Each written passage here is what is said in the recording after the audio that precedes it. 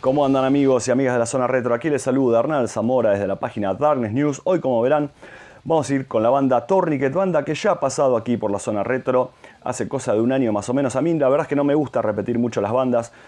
Este disco lo tenía pensado hacerlo en algún momento porque es un disco que la verdad adoro. Si tengo que hacer un top 10 de discos de mi vida, este disco tiene que estar dentro de ese top 10.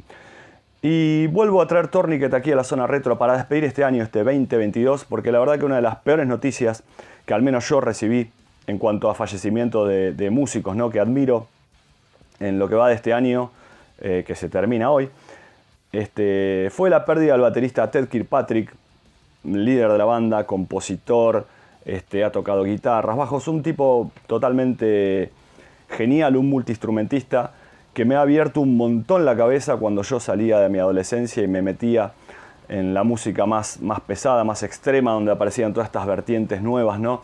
Toda esta cosa del tecnicismo, de la cosa progresiva, cosas que Tornique tiene un montón, una banda que nunca se limitó a encasillarse en nada y agarra cosas de todos lados, mete inclusive eh, piezas de música clásica en sus composiciones, un tipo que amaba mucho a Beethoven y a muchísimos compositores de, de música clásica, un tipo que metía lo que se le ocurría, totalmente abierto, con una cabeza gigante, ¿no? Para armar estas piezas que hoy les voy a pasar a comentar aquí desde su tercer placa de 1992, el Pathogenic Ocular Dissonance. Qué nombres raros que tenía esta banda, sí, tan raro como el, el problema que tuvo Ted, el que lo llevó a la causa de su muerte, que fue una especie de idiopathic pulmonary fibrosis, como si hubiese sido un tema escrito por él directamente, ¿no? una especie de, ¿cómo traducirlo? Una fibrosis, pulmonar idiopática. Una enfermedad muy extraña. Eh, y bueno, lo que son las cosas, ¿no? El tipo también que tanto ha tocado eh, el tema de la medicina, ¿no? Hay en las letras hay un montón de alegoría médica. Como ha hecho, por ejemplo, bandas como Carcas, que eh, no sé, Jeff Walker, por ejemplo, estaba cercano a eso por la hermana, que estudiaba medicina. Bueno, Ted Patrick también eh, tenía estudios farmacéuticos y demás. Por el tema que se metía un poco en las letras y hacía referencias, tal vez, eh, comparaciones y metáforas que venían directamente desde este lado. La verdad que fue una noticia terrible para mí. Yo inclusive me he chateado algunas veces con Ted y bueno, cayó como un baldazo de agua fría, pero bueno, no quería dejar pasar también esta, esta mala noticia en realidad, pero bueno, es una forma de recordar su arte y que lamentablemente hoy es inmortal, ¿no? Porque nos ha dejado eh, discos que, no, que van a sobrevivir al tiempo, porque la verdad que tuvo obras geniales como el disco que hoy nos ocupa, el Pathogenic Ocular Dissonance. Voy a mostrarles, tengo aquí muchísimas versiones de este disco, como les decía es una de mis bandas eh, fue por muchos años una de mis bandas preferidas también, Tourniquet. Amo todo lo que ellos construyen en su música, a pesar de sus cambios de integrantes. Creo que hasta aquí fue la era, la era dorada, el pico artístico de Tourniquet, o al menos en cuanto a los músicos, ¿no?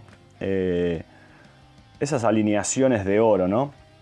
Creo que aquí tenemos tal vez la obra más reconocida de Tourniquet eh, para sus fanáticos. Este disco, si no es el mejor para todos ellos, pegan el palo. Tenemos ya el tema médico desde la tapa, la cosa ocular. Eh, es buenísimo como venían atrás también los temas, eh, como cuando uno va al oftalmólogo que le hacen leer las letritas. Bueno, así tenía toda esta historia de vanguardia también, ¿no?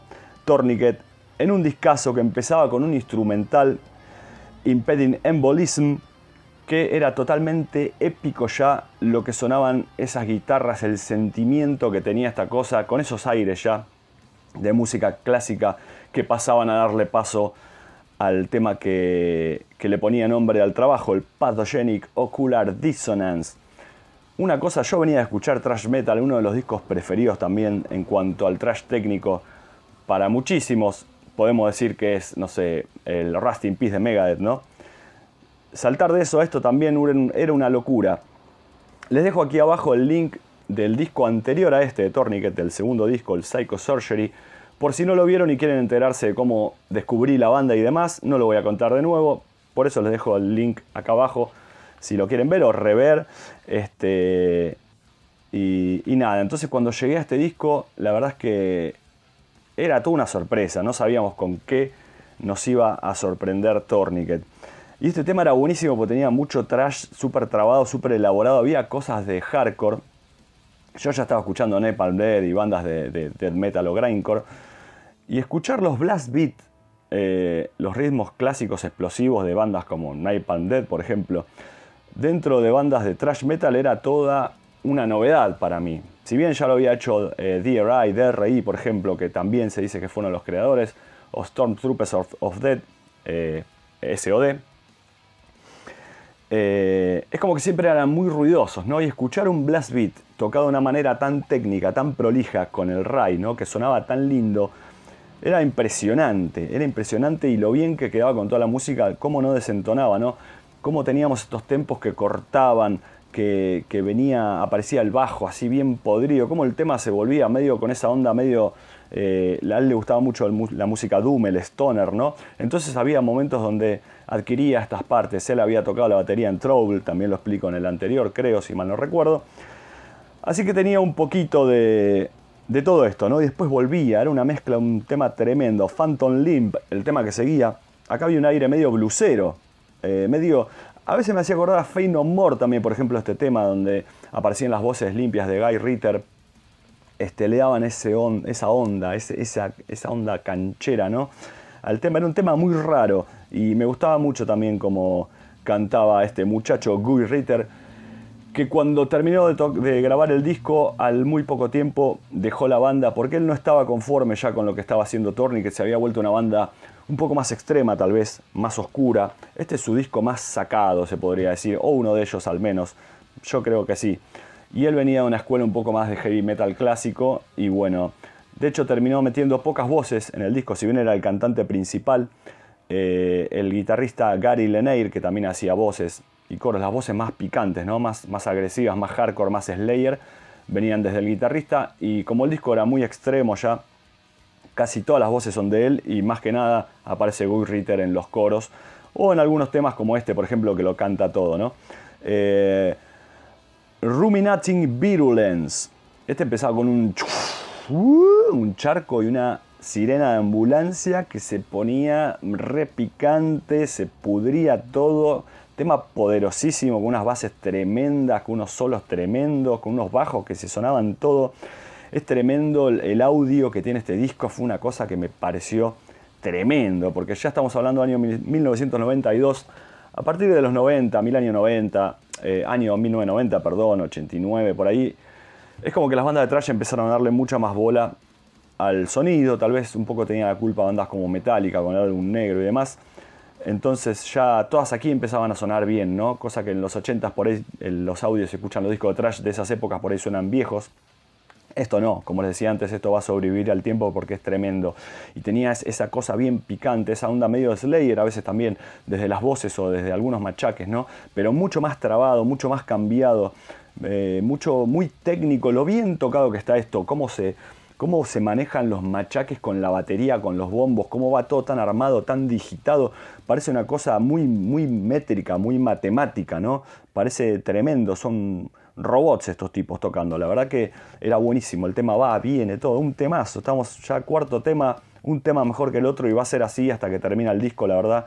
Yo, si no conocen este disco y les gusta mucho, mucho el, el trash de mente abierta, esto es una obra totalmente genial, una obra maestra de este tipo de música. Spectrophobic Dementia, Dementia también, los bajos, cómo jugaban los bajos, cómo iban los machaques, lo que sonaba esto, por favor, las voces épicas ¿no? que había también del cantante, los cambios. Eh, a veces generaban pozos y quedaba la batería sola. Y en este tema, por ejemplo, dejaban un pozo con la bata sola, entraba un solo de guitarra que el guitarrista este, tanto Eric Mendes, Eric Méndez como, como Gary Lenair, eran músicos súper talentosos. De hecho, creo que en este disco y en el anterior me parece también le agradecen, eh, por ejemplo, a Martin Friedman, ya que nombrado a, a ¿no? que estaba también llegando a la cresta de la ola.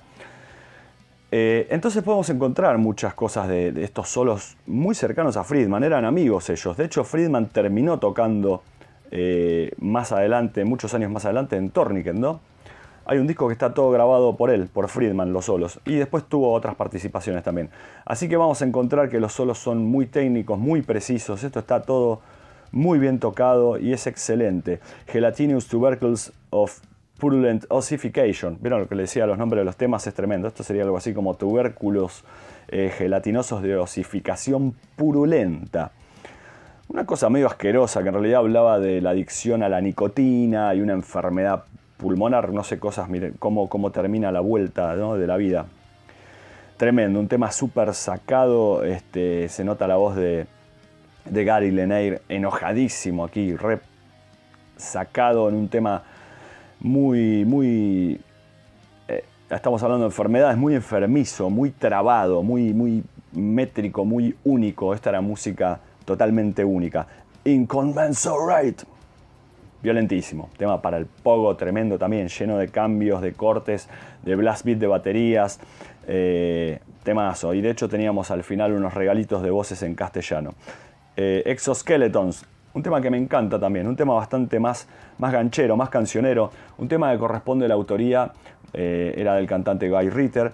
En cuanto a las letras y a la música, la compartía con su, viejo amigo, con Gary Lenair, que ellos ya eran amigos desde mucho antes de, iniciar Tourniquet, ¿no? Y este tema tiene un poco de, esa, de ese costado más cancionero y tal vez eh, más a lo que apuntaba el vocalista. Eh, así que por eso fue también por lo que terminó dejando la banda, por algunas cosas como estas, ¿no? que eran muy pocos los temas que tenían una onda más escuchable. El disco ya era muy trabado, muy técnico, muy preciso y totalmente loco, ¿no? medio vanguardista también. Así que bueno, este tema es un, es un temazo también, un poco más digerible. Tenía también esos pozos de medio climáticos como ya lo había hecho anteriormente en el disco que que había comentado aquí en la zona retro con el tema Broken Chromosomes, que es otro temazo de piel de gallina. Tenía un poco de eso, tenía guitarras muy melódicas, muy, muy lindo, muy lindo de cantar esto por los coros que tenía el tema. Esa cosa también entre medio arábiga, escalas, eh, melodías medio arábigas y medio poperas también, pero llevado obviamente al metal pesado, ¿no? Hermoso tema, tremendo. Era, era tan lindo que encima tenía hasta un guiño al final a, Black Sabbath desde su tema Supernaut. Terminaba así. Eh, hermoso, hermoso tema. Eh, Theodicy on Trial. Otro tema tremendo, lleno de scam beat de batería, estos tupa tupa sacados con los rulos de Tech Patrick. Lo que toca este baterista es tremendo. Para mí, eh, yo estaba totalmente sorprendido. Teníamos, qué sé yo, un Lombardo. Y él tenía un poco de Day Lombardo, pero desde el lado sanguíneo y también una cosa más técnica, ¿no? Más. No, no quiero decir prolija porque no es la palabra prolijo, porque obviamente Day Lombardo es muy prolijo, pero tenía esa cosa de pasar por todos los toms, por todo. Usaba, un montón de cosas, de cencerros de batería, cajitas chinas, campanitas, platos raros. Eh, los escupía, los prendía a fuego también. Un personaje tremendo con una calidad musical única. En serio, pocas veces visto. Tal vez había mejores bateristas ¿no? en la escena. ¿Qué sé yo? Jim Hoglan pueden decir, eh, Jim Hoglan toca mejor, por nombrar alguno, ¿no? Eh, él tenía mucho de Rush también, de, Pearl. Así que siempre vamos a escuchar mucha musicalidad en los brazos de Torniquet, muy prolijo también tocando abajo con los pies. Pero bueno, era único por todo lo que él, cazaba de, tanto de música clásica como de sonidos de, animales y todo, de traspasar la música a traspasar las cosas de naturaleza y toda la música era, era genial como el tipo expandía su mente para crear música inclusive con la batería, ¿no? Eh, tremendo, un desquicio este tema, genial.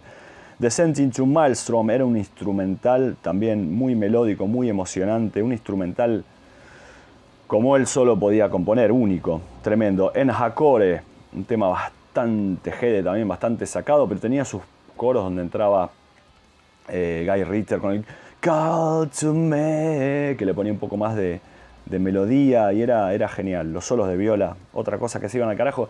Y el bajo, el bajo de Víctor Macías, que no lo nombré hasta aquí, era, era tremendo también por el audio que tenía y también lo genial de lo que tocaba el tipo, cómo se acoplaba con las violas, cómo aparecía solamente cuando había espacios como para que el bajo aparezca y no se haga toda una bola de, sonidos que están todos tocando cualquier cosa. Entonces estaba todo muy métricamente armado esto y la verdad que sigue siendo genial hasta el día de hoy. Me puse a escuchar este disco estos últimos días otra vez, después de hacía mucho que no lo escuchaba, pero la verdad que es un disco que tengo de memoria, como no sé, Arais, Rusty in Peace que nombraba antes, son discos que he escuchado tanto que uno no vuelve a traerlos, pues ya lo tiene requemado, ¿no? Pero cada vez que lo vuelvo a escuchar, vuelvo a sentir eso que sentí esas primeras veces, esa cosa de sorpresa. Por más que uno conoce los temas, sigue encontrando sorpresas adentro de esta música, es genial.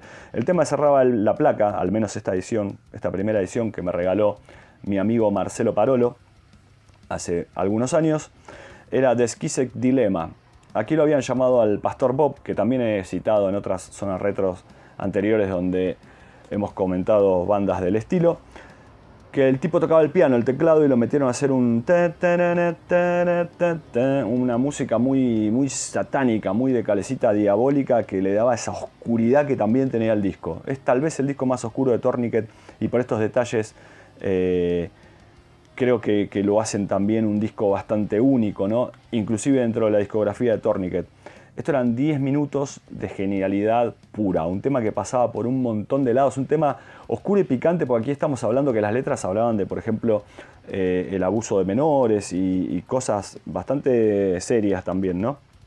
Les decía, esta edición que me regaló Parolo, bajista de Sophilia Eternal Grave, es la primera de Intense Records, yo ya lo tenía el disco, pero él me lo quiso regalar. Yo ya tengo otras ediciones, Marce. Este, no, no, pero vos sos el indicado para tenerlo. Y bueno, aquí tenemos esa primera edición de Intense Records. Hermosa. Tenemos aquí, hablando de regalos, esto también me lo regaló hace algunos años, me lo mandó una, ex pareja, una ex novia, eh, que yo se lo hice comprar en su momento. Y bueno, aquí tenemos otra edición. Esta es una una segunda edición. Esta es la edición Yankee, que viene con otra, otra impresión en el CD. Y el que yo me había comprado es también una reedición eh, en el año 1993, fue que me lo compré. Eh, que aquí lo tengo, que me encanta también la impresión esta en el CD. Y es la edición de Metal Blade. Metal Blade, un sello grosísimo que está editando esto. Decíamos aquí que estaba, por ejemplo, Bill Metroyer ¿no? como productor de, encargado de las perillas.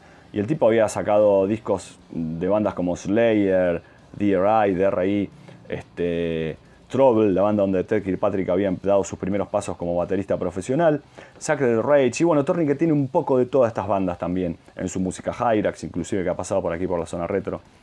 Eh, así que bueno, teníamos esa cosa también, ¿no? De que hacía con el tema, el tema de, de los ojos, del Pathogenic Ocular Dissonance. Este, un discazo tremendo, tenemos el tape también aquí, eh, genial. Y tenemos el vinilo, esta es una reedición en vinilo de esta tercer placa enorme de Tourniquet que me encanta, que viene laqueado, es hermoso, es un vinilo gatefold doble. De hecho tiene fotos eh, que no están en los discos, no conocíamos y Ted le agradece al fotógrafo por haber guardado eh, esas viejas fotografías, entonces tenemos otras fotos individuales. No sé cómo hacer para que se vea esto, pero bueno, las voy a poner si las encuentro, no sé si están en internet por aquí. Eh, es un vinilo doble que tiene colores bastante extraños, como verán. Y el otro era violeta, si mal no recuerdo. Aquí está. Muy bonito.